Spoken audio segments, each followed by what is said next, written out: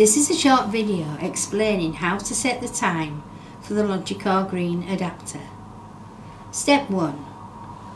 On your Logicor Green adapter, using a screwdriver, turn the green dial arrow clockwise until you feel the valve screw start to grip and become tighter.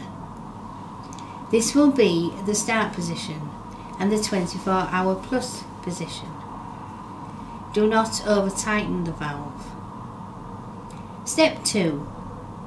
Rotate your Logicor green adapter so the arrow on your green dial corresponds with the arrow in the diagram above. Step 3.